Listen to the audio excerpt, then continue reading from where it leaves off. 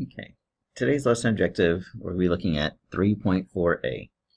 Solve with fluency one-step and two-step problems involving addition and subtraction within 1000, using strategies based on place value, properties of operations, and the relationship between addition and subtraction.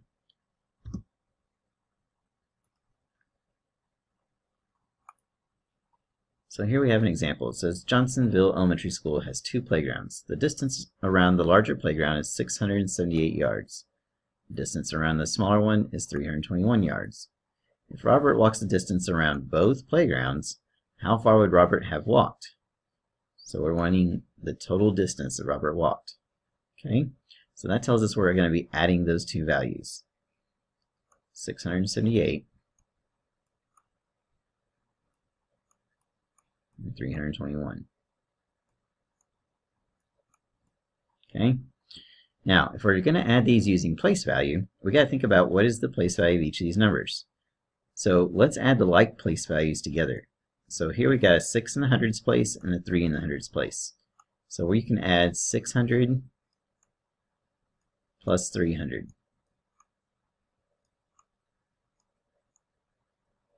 Okay. Here we got a 7 in the tens place and a 2 in the tens place. So we could add 70 and 20. And here we have an 8 in the ones place and a 1 in the ones place. So we could add on an 8 and a 1. And this total should give us the answer to our problem. So 600 plus 300 well, that makes 900, right? 70 plus 20. That gives us 90. And 8 plus 1 gives us 9. So now we're just going to simply add those together. So 900 plus 90 is 990. 990 plus 9 more gives us a total of 999.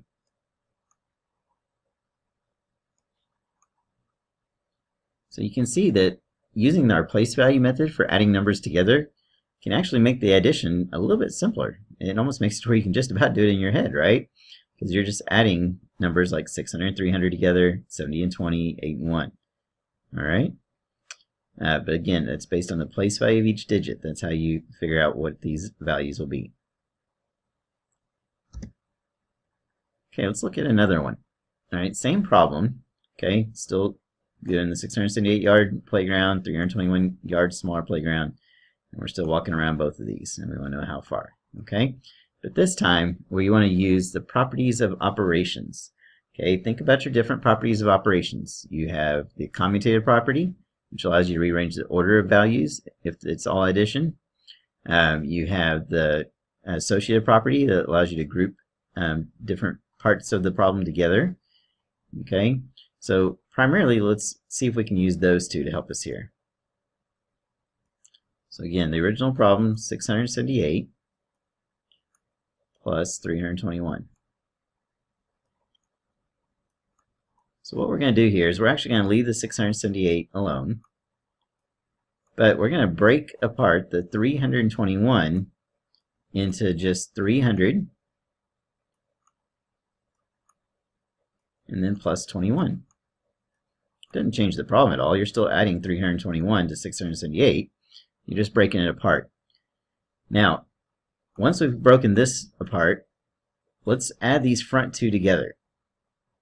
Okay, so we're going to use our associative property to add these together first. So 678 plus 300. So kind of like we did earlier, you got 300 more onto 600, so that's a total of 978. And then we just have to add the 21 more.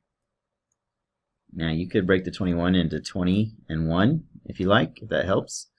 Um, or you can just add the 21 if you want to do that. So if we add the 21 to 78, okay, so 1 and 8 makes 9, 7 and 2 makes 9, we'd still end up with the result of 999. Okay, so again, we, we used a property to uh, decompose our numbers. Here we're decomposing 321 to 321. Used our associative property to group these front two together, added those together, and then we added our um, last part to it at the end. Okay, and you can decompose the numbers as much as you need to to make the math simpler. So again, I could have broke 21 into 20 and 1 if that would have helped me out.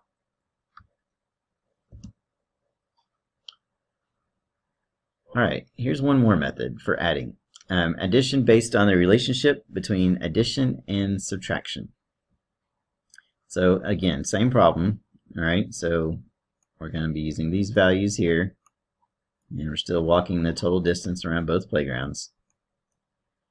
So we have 678 plus 321 is our problem. Now, what we're going to do here is we're going to say, okay, 321, that's pretty close to 300. In fact, it would be 300 if I took away 21 from it, right? So I'm going to actually subtract 21 from this number, okay, so that I can make 300 here. But so I don't change my problem at all, that 21 I took away from here, I'm going to just stick it over here with this number. I'm going to stick it over here with the 678. This doesn't really change the problem at all. It just moves the 21 from over here to over here. And so here you get 699. And now this problem becomes a lot easier because now I'm just adding 300 to 699. So again, I just look at my hundreds place, add 3 to the 6, and I get a total of 999.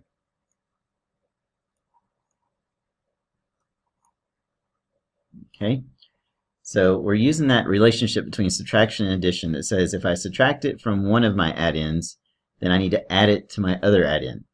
So I try to pick a number, I try to get this to a number that would be easy to use later on, which was 300.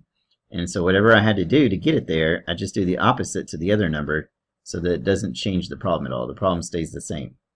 And then now that I have my easier number, I can finish up the problem. Okay? So now we've looked at three possible different ways to add three-digit numbers together. Let's look at some that tie to subtraction. It's the same three strategies, but we're going to see how they relate to subtraction. So here we got a little bit different problem. It says the Chamber of Commerce is hosting a craft show on Saturday and Sunday. Zach and Samuel made 596 decorated bookmarks to sell at the craft show.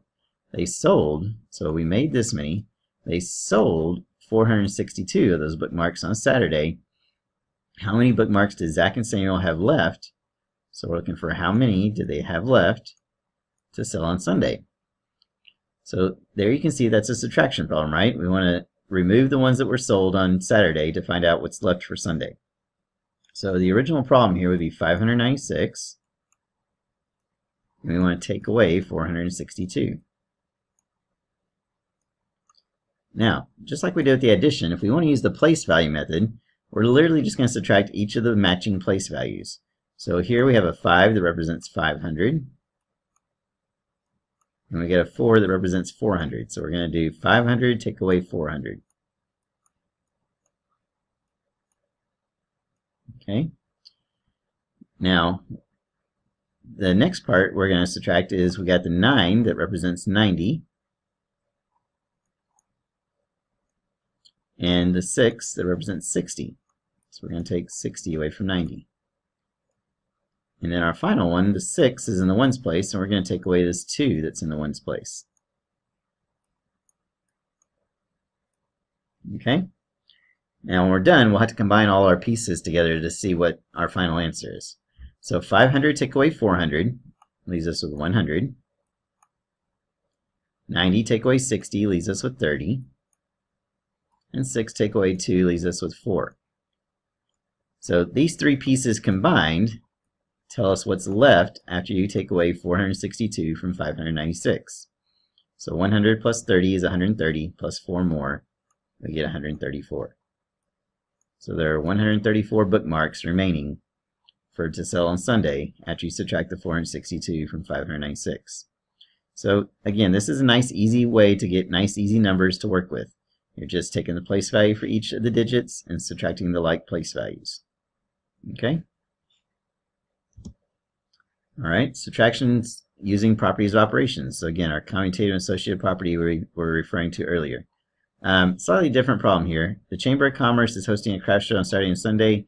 Um, this time I made 865 beaded earrings. So we made that many. And we sold 250 earrings on Saturday and another 115 on Sunday. So wants to know how many does she have left for after the craft show. So again, how many does we have do we have left? So for this one, we got 865 and we're going to take away you can think of this of one of two ways. You can either take think of this as I'm going to take away 250 and then I'm going to take away 115 after that. Right, so I'm taking away Saturdays and I'm taking away Sundays and I'm trying to find out what that equals. Uh, the other way you could think of this problem is we could say this is 865 and we're subtracting the total of 250 and 115. So we can combine the two days that we sold beads and then subtract that from 865. So it's kind of whichever way makes more sense to you, whatever is easier to do for you.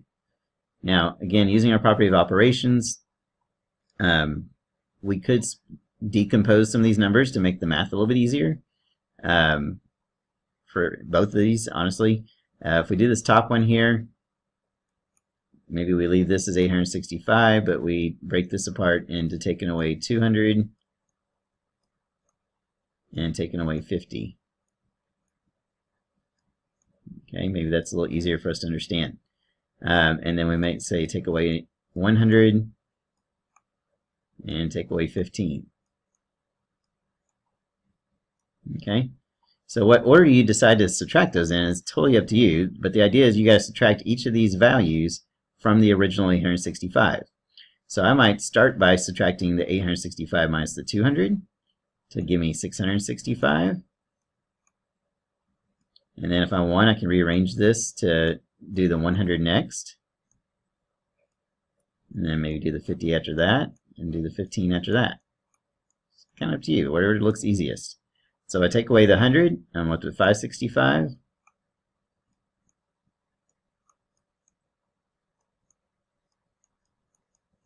And then if I take away the 50 from 65, you're left with 515. And now all I got to do is remove the 15 from 515, and I can see the result is 500. So she will have 500 beads remaining to sell after the craft show. Okay, so that you're decomposing the numbers and then using your properties to allow you to rearrange the order of the numbers that you're subtracting uh, to make the subtraction easier. Okay, as long as you still subtract all the parts from the original total, it's fine. You're allowed to do that. All right, we could do the same thing here. We could um, add these two together by decomposing them if it makes it easier to add them, or using the place value method if that makes it easier. And then whatever total you get, um, subtracting that from 865. Okay, but we get the same result. All right, I want to look at um, the last method here, which is doing it using the addition and subtraction relationship. So here we got, we made 732 jars of jam to sell to show. We already sold this many, and so the question is how many we have left to sell on Sunday. So it's same, that problem we saw earlier, just different numbers. Now, just like before, um, I'm going to do something to this 294 to make it a much easier number to work with. So you notice 294 is really close to 300, right? All I have to do is simply add 6 to it to get to 300. Well, the thing is, if you add 6 here, to keep the problem the same, so you're not changing the problem, you would need to take away 6 from this side. So we do 732 minus 6, which gives us 726. Now, it's still a subtraction problem. We didn't change that. We just uh, moved 6 from here to, re or we removed 6 from here and put it over here. Now, we're going to subtract these. Now we're taking away 300 from 726. That's pretty easy to see that we're left with 426. Right? Because you're taking away 300 from 700. So that's using the relationship between addition and subtraction to move it from one place to another place to give us a much more compatible, easy number to use. All right, this uh, concludes our objective for today. Thank you for your time.